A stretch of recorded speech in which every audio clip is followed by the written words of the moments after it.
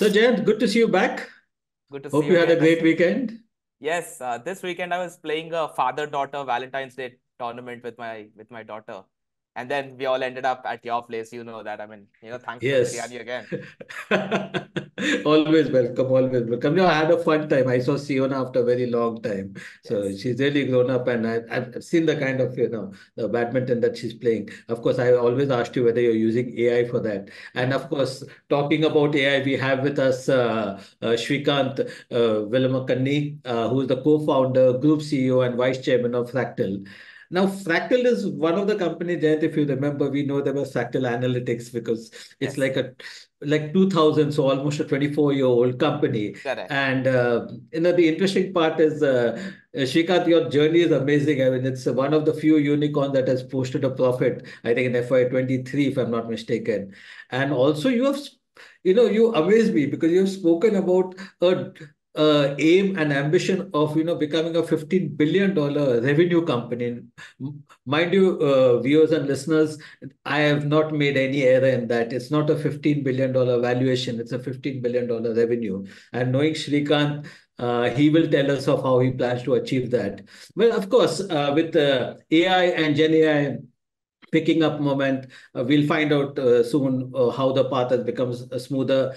And uh, if you look at uh, Srikanth's own uh, uh, uh, roadmap, his path that he has taken, it's a very different thing because he himself, uh, you know, can chart a roadmap for. He works with a lot of enterprises, you know, shows them the way. In his own company, also he's done it. Of course, he's also um, an alumni of the Indian Institute of Technology, Delhi, IIT Delhi, and of course, IIM Ahmedabad.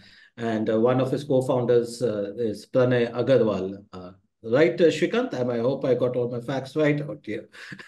okay. Um, so, Srikanth, before we segue, uh, you know, talking about more about Fractal, a lot of interesting things are happening in the field of AI. In fact, there's a development every day, every hour. Uh, Just look at Twitter and you probably you're inundated with the kind of stuff. It's very hard for any one person to, you know, keep track of uh, what's happening in this field. Just a few things that I, uh, you know, got my attention. Of course, one thing that is doing the rounds is uh, OpenAI achieved a revenue milestone of $2 billion in December 23. Then, uh, you know, uh, Sam Altman has been speaking about, I mean, he has not spoken about it, but the uh, I think it was the Wall Street Journal that carried this uh, report saying that uh, uh, he wants to reshape the semiconductor ecosystem and uh, uh, attributing it to sources. They said that he's planning to raise something like $7 trillion. So they were not talking, as as we said last time also, it's two Indias or maybe the GDP or something, or two Microsofts put together. Kind of, it's like crazy stuff. Uh, Srikanth, your thoughts on just that fundraise? I mean, is there that much money even in the PE ecosystem? No, I don't think so. No. There's, I mean, th there are records being set every day in terms of how much private equity companies are raising, but Exactly. 7 trillion uh, just it blows past everything, every such number. I don't know who made it up and how this is true and how can even this is possible.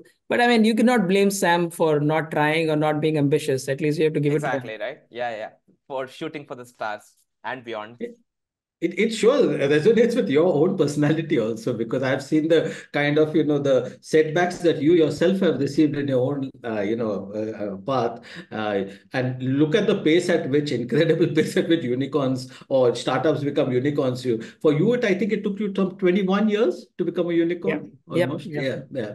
Uh, so it, it's a pretty interesting thing. But uh, when we're looking uh, at AI uh, I mean I think we didn't even uh, when uh, Fractal, uh, uh, you know, was founded into the year 2000, way back, and then we used to talk about SMAC probably. I don't think we used to talk even about SMAC. So SMAC I was mean, out the- 10 years after we started. 10 years 10 after, years, yeah. 10 years after we started, yeah. Yes. So this was like the dot com bust, uh, dot com boom, dot com bust. Those were the kind of times that you lived with. And I think we started talking about AI something sometime around 2015 or 16, where, you know, sort of the early kind of uh, conversation started happening. Now look at it. I mean, after last year, after ChatGPT gave a face to AI uh, in the form of generative AI, it simply exploded uh, out here. I love your thoughts on what's happening in this field, if you can, you know, sort of encapsulate, because you are a person who's looking at uh, all these trends uh, from the, you know, from the front in the battlefield actually, and you're making a revenue from that. Exactly. yeah, the, the story of AI is almost 65 plus years old. And for the first 50 of those years, it was all, I mean, now it looks quite uninteresting, relatively speaking. And it was all with the mindset that you will create rules and rules and rules, and that's how AI will be made, uh, the old fashioned AI. And then it all started taking off in the mid 2000s, um, around 2010. That's when you started seeing results coming from some of the biggest labs uh, showing that deep learning as a way of solving problems, which is very different from the rule based AI. This was learning with examples, learning with data. That sort of started taking off. And in speech recognition, image recognition, um, conversational AI, things started picking up quite quite a bit. And that is a time when some of the digital natives started investing heavily behind AI. So between 2010 and 2015, you saw Microsoft, IBM, uh, Google, companies like that start starting to invest significantly in AI. By 2015, you saw the big Fortune 100 companies realize the value of AI, and they started actually having conversations at the board level where you know I, I did presentations to multiple boards where the idea was okay how is data differentiated for us? How is ai differentiated for us? From 2015 to 2020 it was all the fortune hundreds using ai and post 2020 i think it's taken off uh, significantly. And 2023 was a watershed moment and everyone including 7 billion people on the planet now have access to not just the consuming ai but also using ai more actively like in a chat GPT like situation. So it's been a fantastic journey. It's compounded. It has steadily improved in terms of accuracy and it has steadily shown magical qualities every so every so often. And I think we're at that point where it feels like we're ever so close to that moment when machines are as smart as humans across a wide range of tasks. But this is interesting that you, you know, I mean, you have actually very successfully put in the entire roadmap. I, I don't think uh, we, we could have done a better job on that. Uh, but, but when so when you look at this, of course, we all know that it's a 60-year-old technology. Machine learning itself is around 40 years, and most of the technology that we are talking today have been, you know, there. I won't say lying dormant, but uh, I mean, now that, uh, you know, uh, most companies are implementing it, that we are seeing the results out here. Now, just when we were wrapping our head around AI, when it was sort of becoming mature, and we were just learning that, okay, this is the way, you know, it looks at, like machine learning looks at historical data, makes predictions, suddenly you're generating new content. And just when we are trying to wrap our head around you know, uh, uh, chat GPT and it, trying to make sense of it, then we started talking about the large language models. Then we started talking about large multi-language models. Then we started talking, talking about large vision models. Then we are talking about, uh, you know, uh, small language models and, you know, 10 other things. Uh, for the sake of our viewers and listeners, can you just simplify uh, the, uh, these concepts so that, you know, they understand these concepts better? Yeah, I'll give you real quick overview. So AI is a broad field. Anytime a machine can match or exceed human capability in any task, you can call it AI. So one of my favorite examples is if you have a recipe for cooking pasta, which is better than my recipe, yeah, I'll call it AI, even though even it's hard coded, doesn't matter. It's just because it matches or exceeds human performance on any task. So now within that broad field of AI, the most exciting part is machine learning, where machines are learning with experience. So if you give it a little data, it learns. So you give five pictures of tiger, it has a better understanding of what a tiger is or what a dog is. That's about learning with examples. That's machine, all of machine learning. Within machine learning, deep learning is where you have this idea of creating networks that learn just like the human brain. These are deep neural networks which are learning with examples. So it's machine learning, but it's a subset of machine learning. And within that subset of machine learning are what are called the large language models. These are actually built, built on a technology of predicting the next word. So you take a series of words, it's predicting the next word or a token. And by going through series of words and 10 trillion words in, in case of GPT-4, 10 trillion words of training, it learns and sort of has the compressed knowledge of the world. So that's the large language model thing. And then small language models are basically large language models without the elaborate largeness of it, which is the number of features. You take smaller number of features, it becomes a larger, smaller model, and use use it because you don't you don't have the capacity to run a large model. It requires a lot of computing. So right. if you're purpose built for a small problem, you don't need the size of a large model. So that's the large small language model. So that's in a nutshell what's happening. And the way these learn, and the you you ask the question as to what has changed in this, right? It's been around for 60 years. The big thing that's changed is A, data. Data has exploded. Like GPT-4 had 10 trillion words to learn from. That wouldn't have been possible 10 or 15 years ago. Second is the computational horsepower. GPT-4 was built on 277,000 CPUs and 10,000 GPUs. So massive amounts of computational uh, expertise or computational uh, availability. Three is the amount, the kinds of techniques. So neural networks were there, but lots of tweaks had happened between 1990s when Geoffrey Hinton wrote the first paper on neural networks to 2023. And all these things added up to something really useful. So when you combine the power of data, compute, and technology uh, techniques, and all of them exponentially improving, you had this explosion in the accuracy, and that's when we started seeing magical things like ChatGPT.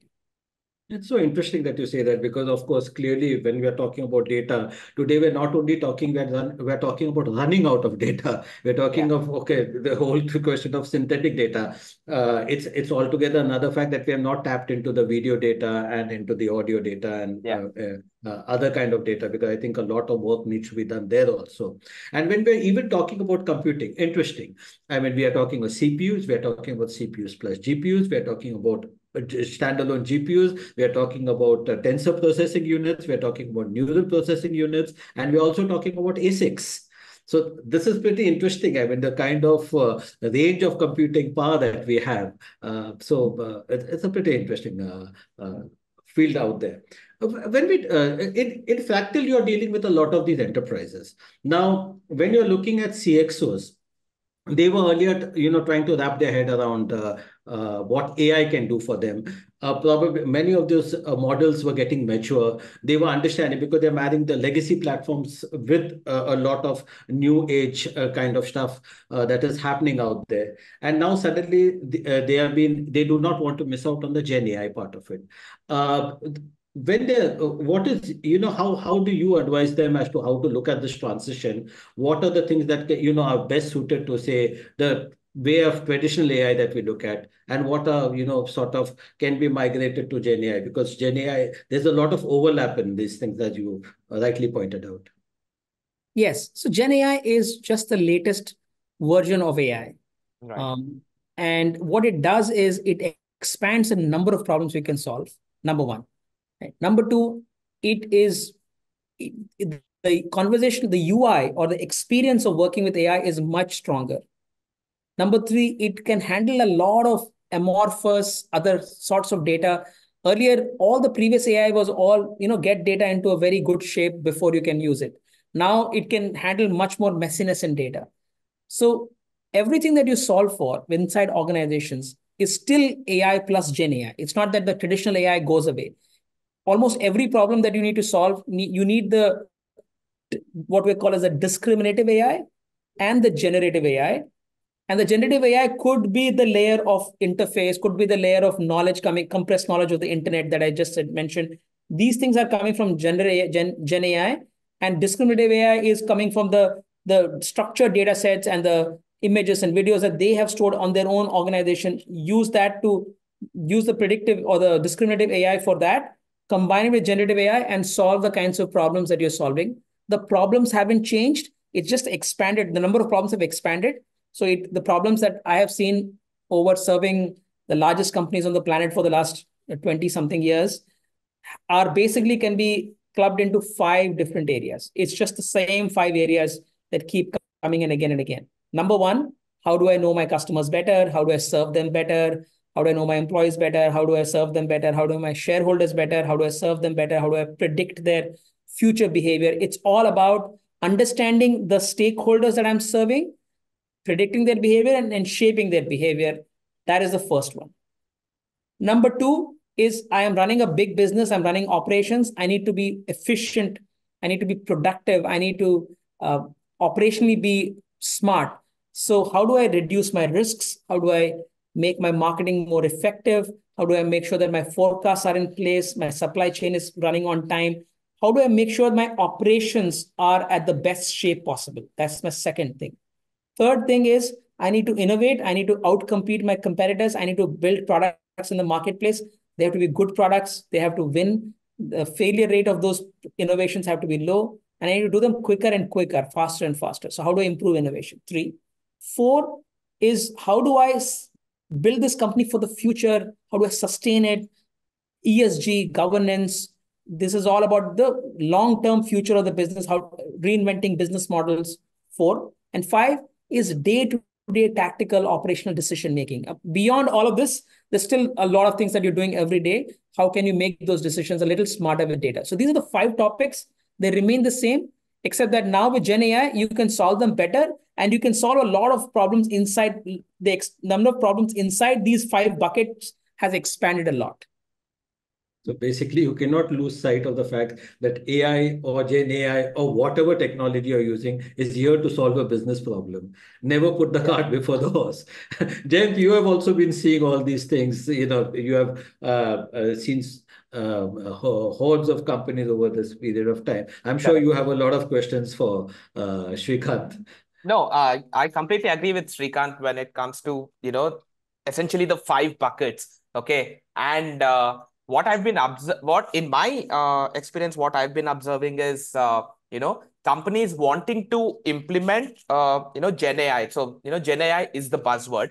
Okay. So they just want to implement something small with it. Uh, Srikanth, in my experience as an advisor and a consultant, what I've uh, observed is that people want a quick solution, a quick pilot, uh, but they don't understand, uh, you know, the need for uh, investing in uh, the right, uh, you know, uh, AI platform or the AI techniques, and and they just think that you know we just we just can build an AI influencer or an AI, AI avatar. Okay, and I keep telling them, you know, think of AI as as electricity. You might just want to, you know, uh, turn on a bulb as a pilot or an experiment in one corner of your uh, house but you still need to electrify your uh, you know you need to electrify your house. And then once uh, you know that electrification is done you can turn on any appliances you can turn on any fridges along with turning on your bulb. But then you know uh, it, it will be just incremental. But think of investing the right time and energy in uh, electrifying your house or AI enabling your your company. Is that also something that you observe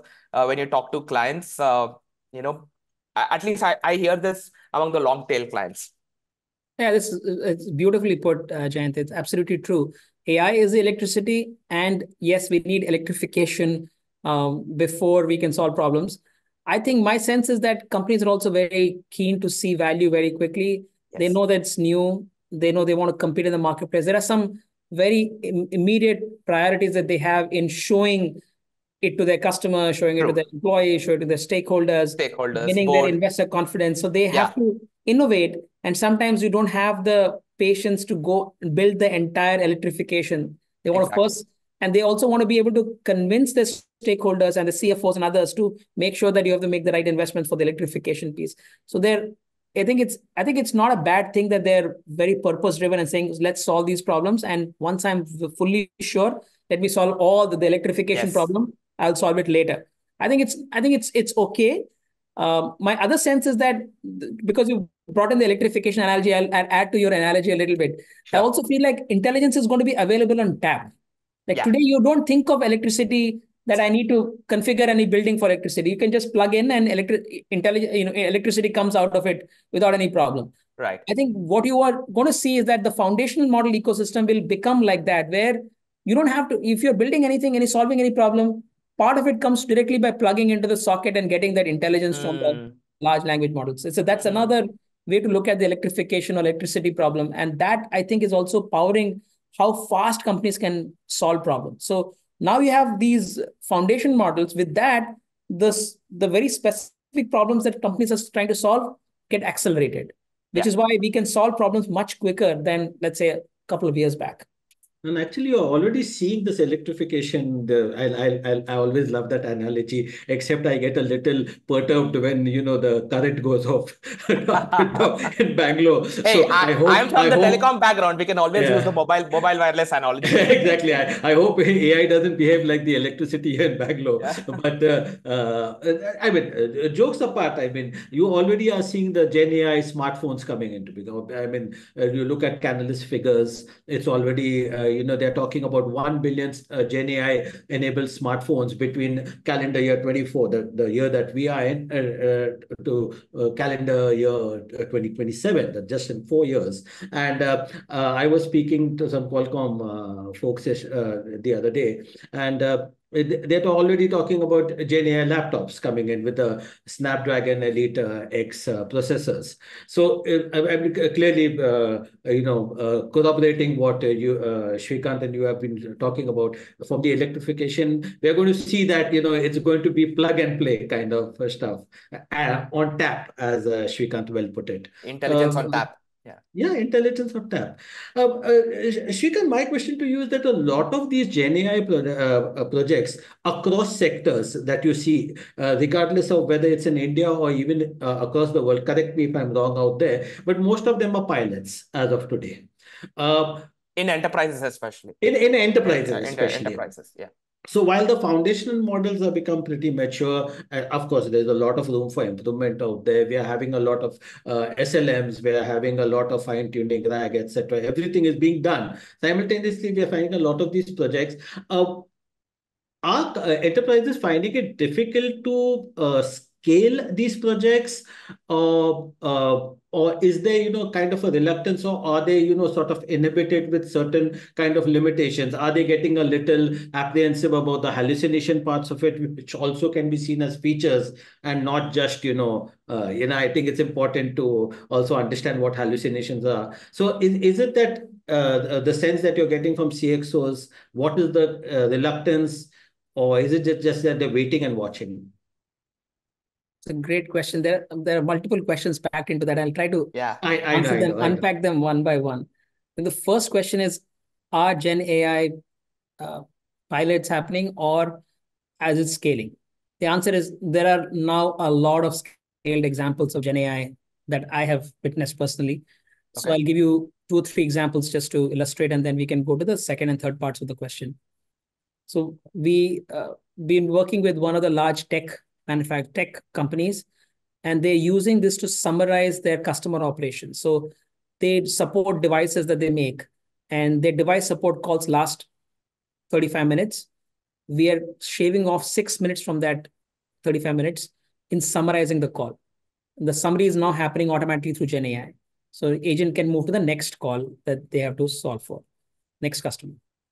Number one. And number two, there, they're also, they used to audit one in 200 calls. So half a percent of calls were audited for quality purposes. Now we're auditing 100% of the calls through Gen AI and not manually. And it means that we are able to capture 30 different quality parameters of the call. Like, you know, is the agent friendly? Does she or he have the expertise? Did they solve the problem? Were there any customer dissatisfactions expressed? Whatever those cap data is, they're capturing those 30 parameters through the call automatically. So this is the first example of a scaled scaled use case because they're actually running 3 million calls a year. And these are all 3 million calls are going through this, number one. And I will also say that this is these things are many of them are in development because it takes time to get these kinds of big things done. It's Gen Right. With this GPT-3, GPT-4 was launched only in March of last year. So only 11 months since it, it's took off. Uh, number two is an example of working with one of the largest asset managers. And these asset managers are essentially, think of them as they run a number of different funds. They have thousand different funds and they have advisors who talk to customers like you and me and tell us what fund we should might suit our needs, biotech fund or high tech fund or small cap fund, mid cap fund, whatever. They are actually having these conversations with end customers, and through the conversations, they have to figure out what is the best product that suits these this risk appetite of this these customers, their preferences, their horizon, etc. Now, what they're doing is they're using generative AI search interface to have this live while they're having this conversation, they're able to make the right recommendations. Mm-hmm. Uh, it has really taken off and it is actually being presented to the board as we speak. It's scaling very nicely. So that's the second example. Third example is a place where a company, a consumer goods company, is using it to develop new products. They're actually um, using generative AI to do a landscape assessment and come up with new ideas of new product launches. So let's say I'm a laundry, you know, detergent company. I'm thinking of what are the various new flavors of laundry detergent that I could launch, which which have which are open space in the market. So using using generative AI to to augment their traditional market research and focus group discussions.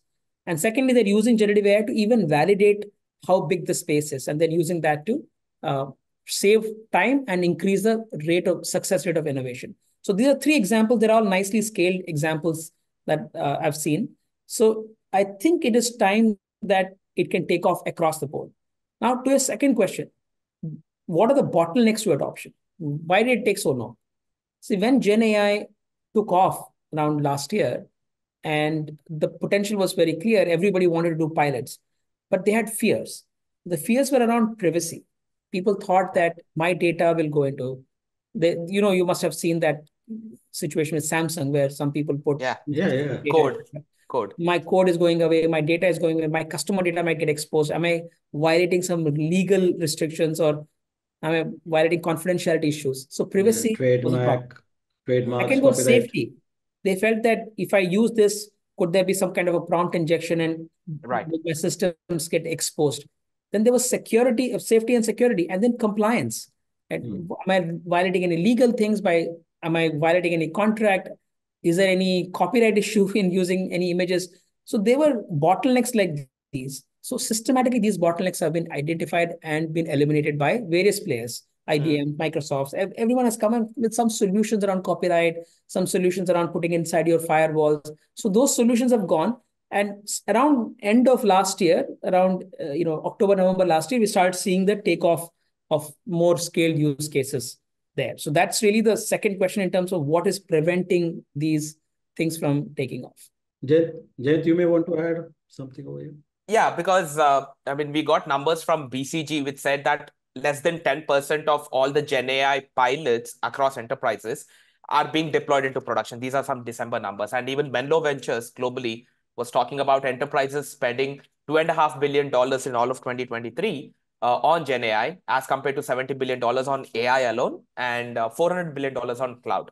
So, uh, and and most of the things that you mentioned were uh, exactly what they mentioned as well. The privacy and the safety and the security compliance uh, were, were the biggest. Uh, uh, and maybe if I could add there, Jen, um, I, I didn't answer the third question that was implicit in, in that, which is around what are the what does it take from pilot to scale up, right? Why yeah. 10% or only yeah. scaling up? It turns out that showing a proof of concept is, is very easy because easy. you can use GPT-4, GPT-3, whatever, Llama, etc., and you can quickly spin up something and say, hey, here's the potential. Looks it's breakthrough. Right. From there to actually deploying it in the enterprise, taking care of all the safety security thing that we just spoke about, and the last mile problem solving required. So it looks 70% accurate or 80% accurate to feel like, oh, this can work. But when you when you are actually deploying it, you need 99% accuracy or sometimes 100% accuracy. Right. You can't afford to be at 99% also. Correct. When you want to move from there, there's a lot of heavy lifting required. The hallucination becomes a problem. Uh, which is so there are a bunch of AI problems around hallucination, around overfitting, and and so on. There are huge number of engineering problems. The data sizes are massive. Yeah. I'll just give you an example we are building a test, uh, you know, to uh, when we uh, hire candidates, we we hire 2,000 people a year and we 400,000 people take tests to wow. join Fractal. Okay. Huge number. And now if we, we want to proctor the test and we want all the video feeds to come in and we want AI to figure out if there's any cheating going on, etc. Right. Now, we thought, yeah, we can do this once we started looking at the data that we are receiving per second in terms of proctoring video feeds, because two cameras feeds right and video, audio, all that stuff, it just the data scales up very quickly. So the engineering yeah. load yeah. in AI problems, in Gen AI problems is vast. Mm. And there are multiple engineering, there's quantization, there's hardware. I mean, some things work on some kinds of GPU, some things don't work on some other kinds of GPU. So from right from the hardware layer to the to, to the top, the entire engineering stack is something that is hard to crack in an AI problem, in a Gen AI problem, when you're actually deploying it in, in enterprise. And then you have the design problems, like you know, we already talked about some of those design problems in terms of safety and uh, and uh, responsible AI and copyright issues. then you, you have to design for you have to also design for the end user to master the user experience. So when you put all of these things together, there's a lot of work required to actually make a Gen AI use case work inside a large organization and scale it up. And that's why also it's taking longer. It's not that you can really switch it on and tomorrow you have yeah. that electrification you talked about. That is all. It requires work. I agree, and and I completely agree. Uh, there are AI problems and there are engineering problems, and even AI problems. AI problems are being solved literally every second quarter, right? I mean, uh, you know, the first half where LLMs were there were were in terms of hallucination first half of 2023 and second half they were completely uh, you know a, a lot of them have become very crisp and tight and you know every six months especially a ai problems are being solved uh, at a massive scale but then there is uh, engineering problems that you mentioned. In my experience I, I need to ask you srikanth I, you know i need to bounce this off with you. In my experience in the last five six years and this was pre gen ai uh, uh, era the companies or the industries that were adopting AI uh, readily uh, were actually non-core technology companies. Okay, and and I have my own uh, you know two reasons for that. One one of the reason was in the core technology companies, in the you know uh, IT companies, software product companies, and telecom companies. Uh, there were a lot of uh, uh, people at the decision making level, at the director and the VP level, who had done their uh, you know PhDs, masters in AI in the 80s and the 90s, and uh, you know they were they were like the uh, guy calling the wolf right i mean uh, they were like yeah we've seen this. They were during the ai winter days. Uh, yeah we've seen ai coming and and they were not really ready when it ai actually hit inflection point in 2015 and six, uh, 15 and 16 right? Uh, that that so they were at the decision making level. So they were not uh, you know accepting that ai finally hit the inflection point. That was one uh, one reason. And the second reason is most of these non-core technology companies in the mid 2010s, uh, in the second half of 2010s, were actually investing in digital transformation, right? And when they were investing in digital digital transformation, they said, you know what, uh, you know, go ahead and uh, we we don't want to keep, uh, you know, changing our um, systems or upgrading our systems regularly. So if there's a new technology that's coming in place, you know, uh, we are willing to uh, in, invest in that as well. So I've actually seen, uh, you know, healthcare, uh, financial services, asset management, uh, retail, uh, and a lot of logistics, a lot of non-core technology companies actually adopting AI uh, much readily and before than the core technology companies. Has that been your observation and uh, experience as well? My observation has been that places where there is a lot of competitive pressure mm -hmm. will adopt much quicker. The okay. industries that are adopting are the ones where their moat is not strong enough. They have to be very quick, innovate every day to survive.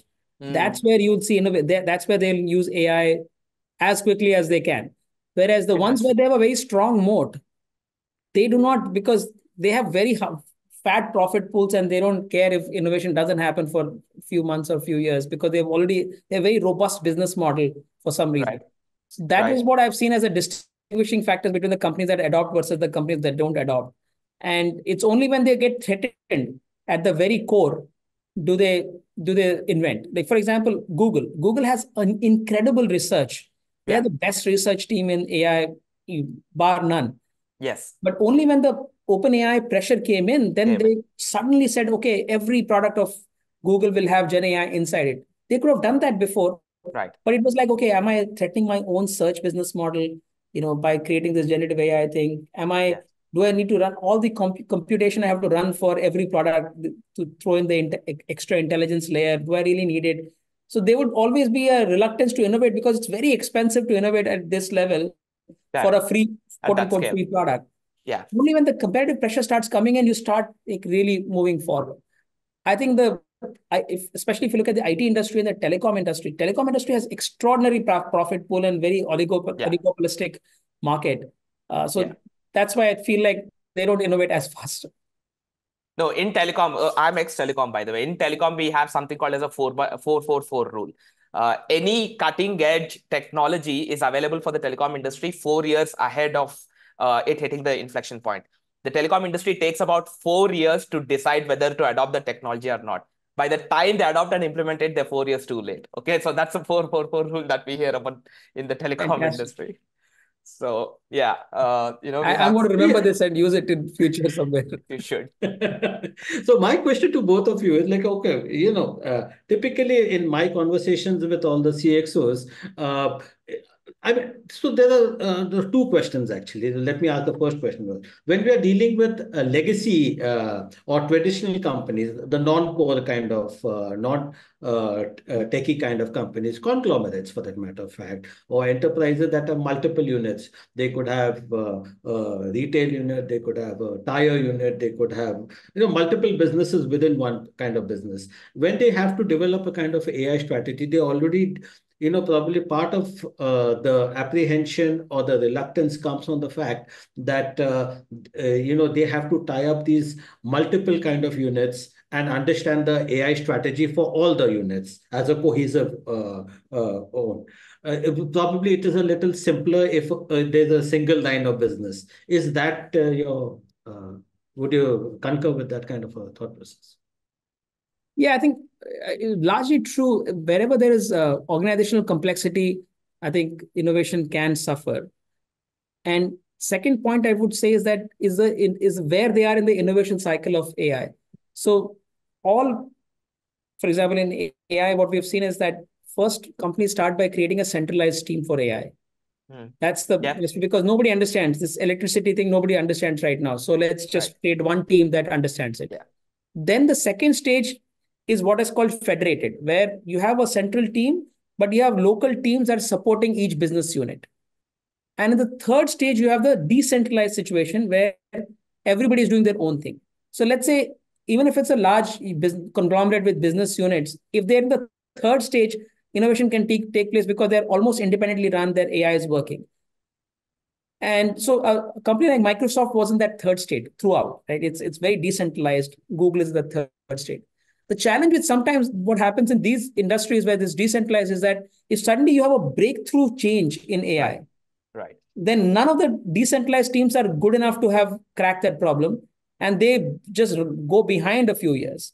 And that's what you see in Microsoft saying, "Look, I'm going to go to OpenAI and literally, you know, say that OpenAI is my AI strategy." It's a very big statement for. I mean, you know, hats off to Satya for having the humility to say that. But Microsoft would think of itself as an AI company, and they had very credible AI research for many years before that. Years. For giving up all of that and going to Sam. And I saw a podcast where Sam Altman was talking to, I think the uh, the founder of another company, and that guy asked him, "Do you think Microsoft is an AI company?" And then Sam Altman thinks for like thirty seconds and says, "No, I don't think so. They're not an AI company." I was like, "Okay, this is I don't know what this is. This is arrogance or this is this is true that I don't know what it is, but it's it's funny. It's it, but Microsoft has had the humility to do that. But to answer your question, I think it's it's complex, and this is some of the thoughts behind it. Talking of that, uh, coming to Fractal, I mean, I am personally fairly impressed by the kind of companies that you guys have been uh, uh, either incubating and or investing. You know, uh, Senseforth, Qure, uh, Asper, Crux, and Flyfish, especially Crux and Flyfish. Uh, you know, you guys have moved really fast, and and uh, Asper as well moved really fast as soon as the Gen AI uh, this one took over. Uh, you know, uh, talk to us about uh, you know Fractal's thought process and this one when it comes to incubating, growing, in uh, investing, and acquiring uh, you know some of these companies and products. That's a great question. Firstly, I sincerely believe in the Jeff Bezos philosophy that if you want to be truly client centric or customer centric, you have to innovate ahead of the need. So you have to hmm. invest in R and D, and we have a philosophy that is today, tomorrow, and day after. Like whole world we divide into today, tomorrow, and day after, and we have to spend spend our monies for to, to win today, to win tomorrow. Let's say twelve, this is twelve to eighteen months, and win the day after, which is well beyond let's say eighteen months, twenty four months. So we invested in those kinds of research areas right throughout. We invested something like 10% of our revenues on R&D throughout our journey. Mhm. So when Crux, for example, was well ahead of its curve, we did Crux in 2015, 2016, well before wow. GPTs came in. Exactly. So we were so when GPT hit and uh, we could just increase the accuracy significantly because now we could plug in the engine All right. of GPT GPT-4 or GPT-3. Right. So what we benefited from is that we had built all these products well before GenAI came in. Hmm. All we had to do was to infuse the GenAI layer, and they became much much better after GenAI came in. And if we had to start from 2023, we couldn't have made we, we wouldn't have been there.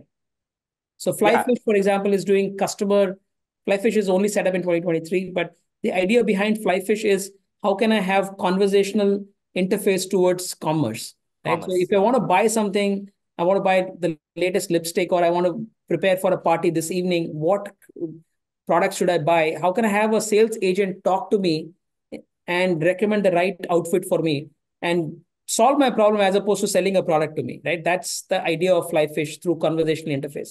So these ideas are all very interesting and new, and they become very, feasible in the Gen AI world. So I'm glad that we invested enough money before this took off. So now we can leverage all these investments. In, Yeah, I mean, Flyfish, a straightforward use case. What I'm personally, uh, you know, impressed and excited by also is about Asper. I mean, the entire decision-making engine. Uh, you know, there is where you're talking about intelligence being on top, uh, on tap. You know, decision-making, decision-making itself being on tap. Okay, uh, with, with all the all, like all the the- different inputs uh, being ingested and yeah, go on. Sorry. So in, in case of Asper, it is like an engine that's sitting at the heart of a business. Right. You have demand, you have supply, you have pricing. It sort of triangulates all of this into the thinking behind how to make decisions for growing your business. And that's really the it's it's like the central processing unit of a of a, of a big consumer goods company. That's really how it has been set up. And uh, yeah, it's it's it's a good vision and it's really uh, taking So- off now. taking a step back, uh, you know, uh, talk us through your uh, product roadmap strategy or a portfolio strategy, you know, with, with all these companies. Uh, what what what goes on in uh, in in Fractal's uh, management mind, you know, when uh, in terms of building the portfolio of the products. First of all, we think of what is next from a client vantage point. So, what is Mhm. inventing and investing on client behalf? What does that mean? Mhm. That's how we generate ideas. The second way of generate ideas is we have all these budding entrepreneurs within Fractal who are who are coming with nice, crazy ideas. Uh, We give them enough time and money to uh, explore those ideas.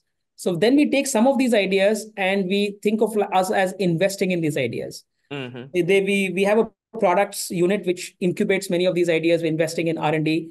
We have deep R&D and some relatively shallow R&D to support support this.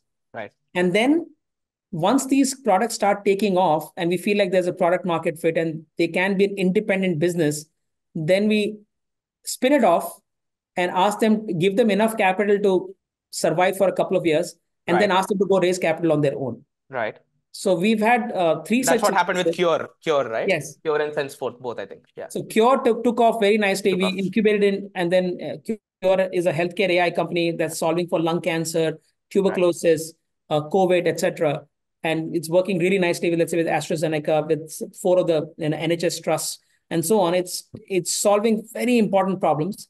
It was born in in our conference room. We incubated for five years, and 2020 we spun it off. Sequoia invested money, MassMutual Ventures invested money, and then 2022 HealthQuad, Novo Nordisk invested. It's taken off very nicely. Some 10 million people around the world have benefited from Qure solutions. It's really taken off nicely. And that is the path for every company. Now, Hmm. every company doesn't make it all the way. And there's a creative destruction involved in failure. Right. And we are also humble enough to say that we tried, it was a good idea, it didn't fail, it didn't succeed. So we will absorb it back, or we will, or we will say, let's use the repurpose the team to build a new idea. Yeah. That's really the mindset of uh, innovation. No, this is this is exactly Google's model of innovation, and and it's very heartening to see an Indian company pulling this off. Uh, you know, more power to guy to you guys, honestly. Thank you. It's still we're still in the early stages, but I think we've had a couple of good successes. One of them is Theremin.ai, which invests quantitatively in the in the stock markets. Mhm. It uses machine, it uses data from uh, you know price volume data, but also alternate data to make investments in the equity markets. Okay. using uh, machine learning algorithms. And then you know that is set up as a fund, etc. And now it's it's raised a couple of rounds of funding. Hopefully, it's uh, we, we we may have some news on that front too. So that's that's to Qure and uh, Theremin, and a couple of others are also in that journey of taking off. But we know that if, even if you have a fifty percent success rate, I think that's way better than an average. Uh, I mean, definitely, right? Uh, a VC success rate, yes. definitely. Yes. Uh, one other thing that I wanted to uh, check with you 24 years of, uh, uh, in, you know, of Fractal. When you guys started off in 2000, uh, you know, uh, talk talk to me about the uh, genesis thought process of Fractal. Were you always, uh, you know, going to be an analytics company to start with, and and how did the genesis this uh, take off? What's the genesis story? So when we started Fractal in 2000, very first few months, let's say first six months, we were trying to help consumers in making better buying decisions. So mm-hmm. we would we would recommend the best so best cell phone for you given your preferences. We would say this cell phone of all the 150 models of cell phone available in the market, we would give them the top three that fit their needs. Right. And by by taking asking them some questions, etc. We would have a little algorithm to power that. So that failed miserably. We couldn't take it off. Uh, and then we did some soul searching and said, what are we really good at? This is like first year of business. Right. And we said, you know, we, we understand math really mm-hmm. well. Mm-hmm. And we want to use math, we know is very powerful in solving problems and making helping companies. Pranay and I, the two co-founders, we had worked uh, on India's first collateralized debt obligation. We had used a lot of mathematics in okay. structuring debentures in such a way that you could raise money against it. So it was a lot of mathematics, interesting stuff. India's first CDO. So we were fresh off that experience. So we said, right. you know what, math is important for businesses. Let's mm-hmm. see how we can make it work. And then as we thought further, we realized that math essentially in the enterprise context means you have to work this math on the data. Right. And then we started building mo- models. First thing we did was to predict default rates on consumers, on credit cards and personal loans. And then we, so banking was a second we did predicted churn in telecom that was in very early days. We worked with right. consumer goods companies in predicting customer behavior and and figuring out promotions, etc. And then it was so intoxicating because it's a beautiful combination of math and psychology. We're right. doing mathematics and we're trying to understand consumer behavior. And this has been a lifelong journey since then of bringing in data sciences, but also human behavior understanding and human decision understanding Right. It has always been about powering human decisions. Even the first thing we did was about powering consumer decisions. So in that sense, we have been true to that vision of powering decisions. Yeah. Okay. So that's that's that's been the Genesis story, and uh, and good. You know, like Steve Jobs says, it takes 15 years to have that overnight success. Uh, you know, you guys are 24 years, and in the 21st year, you turned a unicorn by revenue. Uh, you know, and now uh, you know talk to us about the future of fractal uh, leslie leslie talked uh, you know talked about your uh, uh, 15 billion dollar revenue target that you guys are uh, uh, you guys are looking at the the future what lies in the future of fractal firstly i think it's a very simple strategy mm-hmm. we don't want to serve everybody we want to serve the biggest most admired companies on the planet right we have a definition called 10 20 30 Mm-hmm. Companies that are at least 10 billion in revenue, uh, 20 billion in market cap, or have 30 million consumers that they serve.